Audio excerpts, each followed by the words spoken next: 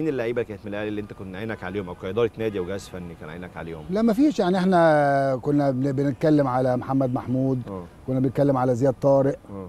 آه، لكن طبعا زي ما بقول حاجة الظروف اللي أنا كنت عايز يعني الفريق كله يكتمل. بدري. عشان فترة الإعداد تبقى بالشكل اللي هو ده الفريق بتاع السنة الجاية. آه. والحمد لله قدرنا إن إحنا نخلص بدري. نبدأ فترة الإعداد في برج العرب آه، في آه، إسماعيلية. مباريات ودية وكان اخرها مباراه الإسماعيلي. في الإسماعيلية. من حوالي كانت يوم الثلاث اللي فات وقدرنا الحمد لله نكسب 2-1 فالحمد لله يعني